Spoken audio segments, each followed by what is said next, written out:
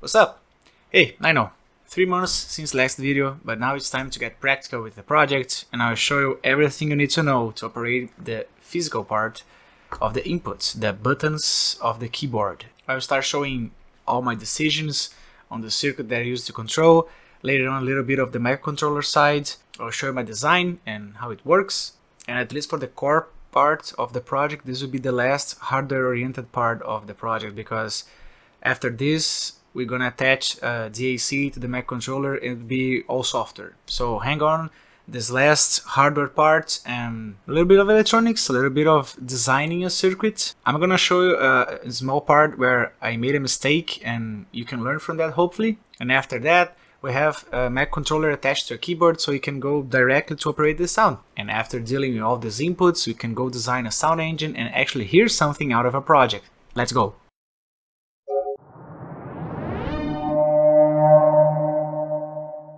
So first, you gotta decide what architecture of the circuit to be, what topology you're gonna use to read all the inputs and it's a lot of buttons to check. Remember for each key we have two buttons so you can measure the timing and thus read the speed in which we press the key. Of course a lot of pins and our microcontrollers usually don't have the number of pins. I know there are a lot of microcontrollers out there with a lot of GPIOs, but this is not the case. We're using the ESP32 for its performance by price. So I found this great resource online, Open Music Labs, and I, I, know I showed this link before, but I'm gonna I'm gonna walk you through all the topologies that are presented in this site. I think it's an amazing compilation, and I wouldn't do better. So I could I could do a presentation myself on all the kinds of inputs you could use, but this is already done. It's perfect for a ruse, so I'm gonna use this instead. So it opens up showing what is the key matrix, and I already talked about this, the diodes, the switches and all that. We can just jump to the important part. We have many ways to read buttons, but the main ones are you got a switch per pin, which is the dumbest but simplest to use.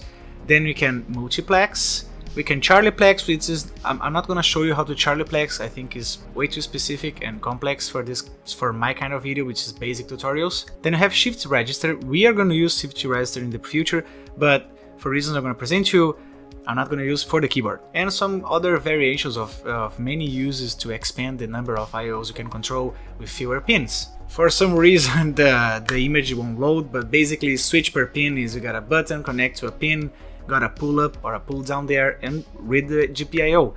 This is by far the easiest way to implement it, but at the same time will cost you X number of pins, X being the number of keys you need. And we have 61, but two switches per pin, so we need 122 pins of the microcontroller and we're using ESP32, we don't have that much pins. So this technique won't work. Then you have the multiplexing. You have the multiplexing. This is how the keyboard is actually built.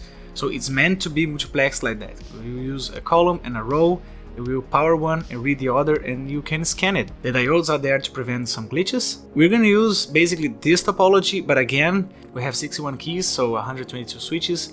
And if you remember our Excel that I showed you in the last video, actually let me just switch this so you can remember. You have 16 pins for the rows. Of course, you have double the rows, so you got 8 by 8 and have double the rows we have 24 pins to control. That's a lot of pins and the ESP32 won't be able to deal with that. So we have to reduce the number of pins used to control our key matrix. So we're gonna use single multiplex here, but with a twist. We can reduce the number of pins, 24 is way too much. Just out of curiosity, in a future video talking about the other IOs, I'm gonna talk about buttons and dials and all that, you can use a shift register. It's basically a serial interface. You can use a clock and a data and we will latch up this data in all the pins. Then you can enable the outputs and all the data is synchronously set or reset. So this is really useful and really simple to use. Some of them have got a SPI or I2C, but you can do some that you can bit bang a GPIO and it will work and to, to some really high frequencies. All of our codes will be an interruption so it needs to be fast as possible. And for that, uh, shift register is not the best use. So this is my final design. It already works, it's tested, so you can just build one too. So what is this? What am I doing?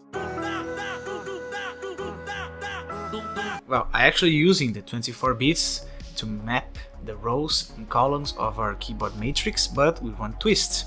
I'm not using 24 pins, of course. I'm using a MUX and DMUX, and instead of using 24 pins, I'm getting 8 and reducing by 3, of course, that's binary, and I'm getting the 16 and reducing to 4. So we are switching 24 pins, and we're going for 7. And I'm gonna explain to you if you're not too hot on electronics, I'm gonna explain to you this is this is really simple, really basic. What I'm doing here. Well, we have the first row and the second row. Remember to, to read the speed of the key press, you need two switches. So I'm gonna ignore, this is for the same key, and I'm gonna read all of them as 16 rows, okay? And we have the eight columns. So you can multiply, you can see we have all the 122 uh, switches here. So I needed a 1 to 16. How do you do that? Well, I chose to use three 4052. They have inside of them two 1 to 4 demuxes and I used two in parallel so I get 4 to 16 and I used the half of the third 4052 to make a 4 to 1 and of course I get it already in 5 volts I don't need a GPIO controlling that. So in that way we are powering 16 rows of the keyboard matrix and all I gotta do is read the, the columns to find which key is pressed. And for that I use another mux right now making 8 into 1 and going into our load resistance. If this is way much noise to you I can simplify the image. There you go, you can see it's basically we are scanning the rows and then scanning the columns and if you can do this fast enough you have the illusion that we are mapping every single switch. I'm using already the 5 volts, it could be 3.3, depends on you and just remember I talked to you guys about simulating what were the perfect values for our load resistance. You guys remember the simulation, right? Yeah, I, I simulated what, what were the parasitic resistance of the keyboard and we just came across this simulation. I basically modeled the internal resistance of the keyboard and we got, remember using three muxes in series so we have this internal resistance all summed up. By the datasheet, the 4052 and 51, they have 75 ohms as internal resistance. Here I'm simulating the single switch, so I have a single diode and a single switch there. And then this 20 and 12.5 thousand ohms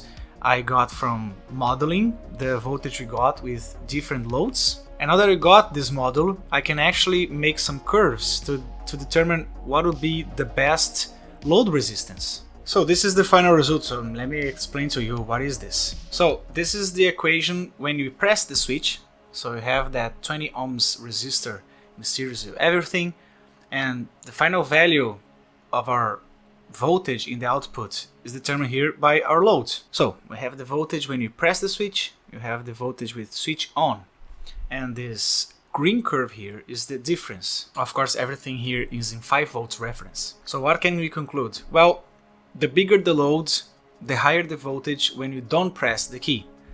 So we have this curve. So F1 is the voltage we get in the output depending on the resistance we use as a load. So here we have the higher the resistance, higher the voltage. And in the middle, the difference between the two curves. So what I want in my project, I want the black curve and the red curve as far as possible from each other, right? So we have, we have a big difference between on voltage and off voltage from the switch, so it's easy for us to read the value, right? So as you can see here, the difference starts to fall to zero, the higher you get resistances. The peak is in here. So I made this little equation here to find where is the highest point of the green curve, and it's around here. This blue line here is 2.5, so it's half of the VCC. This is the part where the engineer can get creative and choose whatever he likes. I chose to use my load 1800 ohms. You guess the biggest difference. And after that, of course, remember the circuit will have an op amp they are comparing. So in the end, we have ground or VCC voltage in the output. And of course, did all the modeling using an ideal value of diodes, 0.6 volts and around 10 ohms. Uh, I went by the datasheet to get that value. So the equations will be simpler to show, simpler to simulate, and I use the RL equal to 1.8 thousand ohms. Now it's a matter of deciding which ESP32 pins you're gonna use. You can find in the internet which pins you can use as inputs, outputs, etc. So I'm gonna just skip that. If you have any questions, please comment down below. I'll be eager to answer all of them. and even make a extra video if you need. So now I have an RL, I have a topology, all I need to decide is which comparator to use. So I start with the basics. I tested the 741 and I tested also the 357. Both I had at my house, so I could just put on the protoboard and test to see if it worked. They didn't.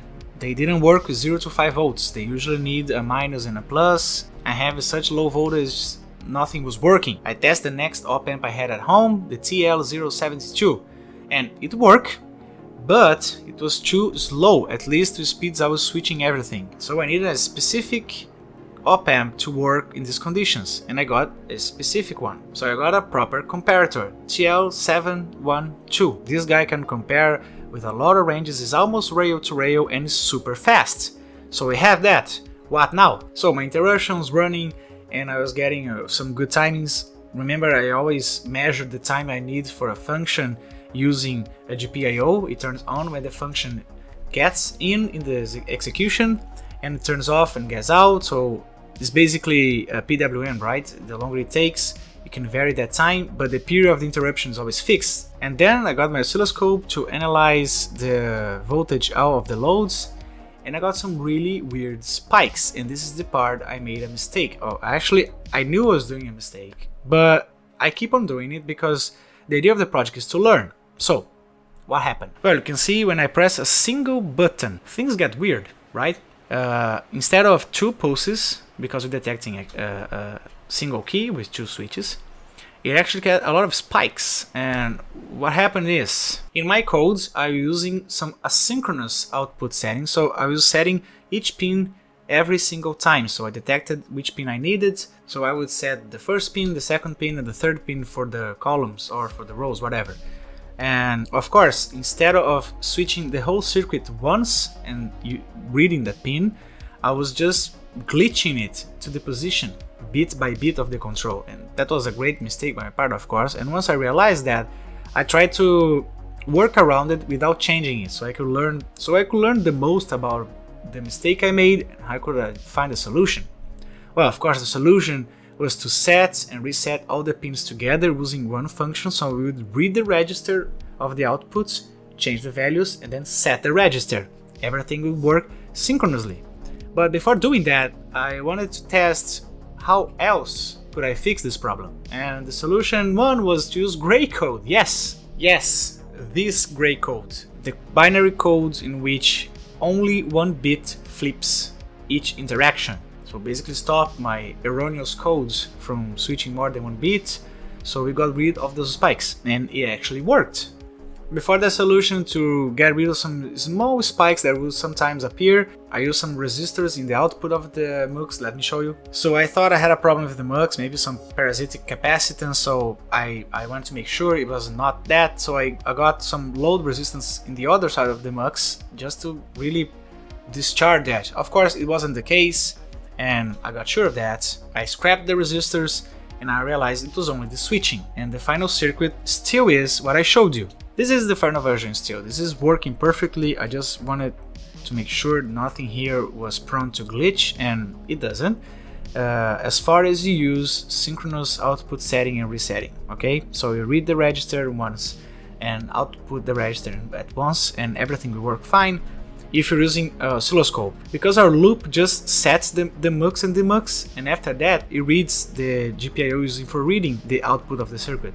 So even if you get some glitches, it wouldn't be a problem. But that just means you have to use the same register. And if you know ESP32, I can make a video about ESP32, like how can you use the registers to make things more efficient. Comment down below if you want help using ESP32. I discovered a lot of tricks that made my life really, really easier. So basically you have two registers, one to bits 0 to 31, and the other 32, I don't remember the max number of GPIOs, but anyway, I had to make sure that all the pins I used to control all the muxes here, they were in the same register, so GPIO 0 to 31. So after I made sure I was using the right GPIOs, I connected everything, made the board. Let me show you the board. Do you guys remember this board? This is the same old board I'm using. And here you have all the mux and demux. This is the multiplexer 821 that I'm using the output, and here, oh yeah, here, here is the op amp So that's all you need to know to design your own circuits to control the keyboard. Uh, I'd like to have a way better presentation to, to show you guys and give you more details about it. But I'm in the middle of a really hard semester and it took a toll on me, on my body, on my sleep, on my energy. But I'm back and recording videos. I have already two more videos to present to you about how to make a digital DDS for the software part, the sound engine, and I'm already testing it. It's already working. Here you can see I have, have the ESP32 hooked to a DAC. And I'm already making all crazy sorts of waveforms in there, so we have some really cool videos coming up. Of course, I almost forgot. We need a finity state machine to control if you press the key on and off to measure these timings. So the software part, if you guys want, I can put in the next video. If not, I'm just skipping through it and going directly to the hardest part, which is the sound engine. I, know uh, a lot of you are not interested in the keys, you have MIDI keyboards, you want to make the, the hardest part, which is making sound. Just to show you a little bit of what I've done in software, this is basically testing if the if I press the key and which part of the switch was pressed, the first one or the second X or Y, and then it measured the times, and after that it sends to the other core or other ESP if you're using dual boards, and after that when you release the keys, it actually sends an off. So you can press you have the timings and you can cut the sound. You have the full ADSR envelope. And this is a improved version of my fin state machine. All done in software basically interruption with a switch and then reads the state of the key and do some operations. That basically software. If you guys needs anything on the software part just just comment down below and I'll help you uh, the best I can. And that's it. Um, I know this channel is being like dormant for the last months, but I'm just doing my best to finish the last hard semester I have in college because after this semester that, that by the way ends in three weeks, things will be way easier for me to make the videos that I like so much, to finish this project and many other projects that I wanna do. But until these three weeks, I'm gonna try my best to put some content out there, but my priorities are finally finishing all the classes I have in college and no more classes to me, thanks very much. Unless of course I go into the masters.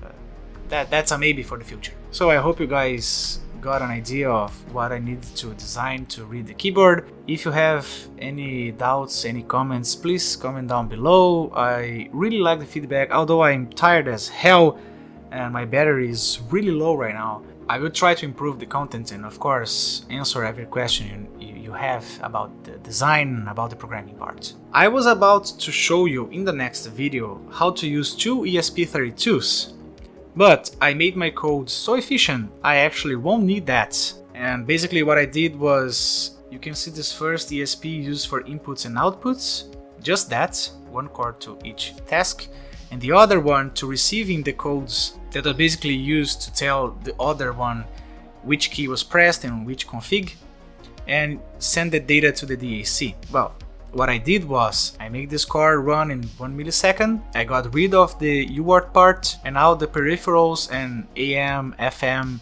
ADSR all run in the same loop, which is super fine by the way, the ESP can, can deal with that with a really short time.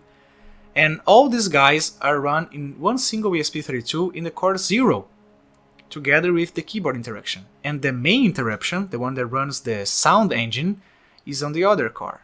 And that's it. I'm going to use just one ESP32. So going to be talking about uh, quad core here. we'll be only using dual core and that's just really enough for this project at least. So what I'm going to do with the next video is to teach you how to use dual core properly with really hard timings. Because the main idea of this project, of course, beyond dealing with music, I love music and sound, is to learn to use RTOS and not only free FreeRTOS but any RTOS and one of the main concepts here is to use hard real time. So in the next video I'm gonna teach you how to use both cores with hard real time. And in the video after that one, I'm gonna finally teach you how to build a DDS. That would be the architecture of the software you're gonna use to generate sounds. Yeah, I've not been updating a lot of videos in this channel, but I've been working really hard on the project and on my three classes and many other stuff. So I already have those scripts ready, I just need to record them and I'm trying not to exhaust myself on these videos because I need energy to finish my semester properly. So stay tuned if you're interested in how to use the dual cores of the ESP32 using only C, no Arduino framework, and after that how to build a DDS sound engine. Thanks again for watching my videos, I hope you're actually liking learning something. The more this project goes on, know the Mad Synth or addictive synthesis as I like to call it, the more interesting the videos are getting, so stay tuned, things are going to get really nice, really interesting. Now leave your comments down below, I hope you like this video, the next ones are going to be really nice, and I'll see you there. Bye bye.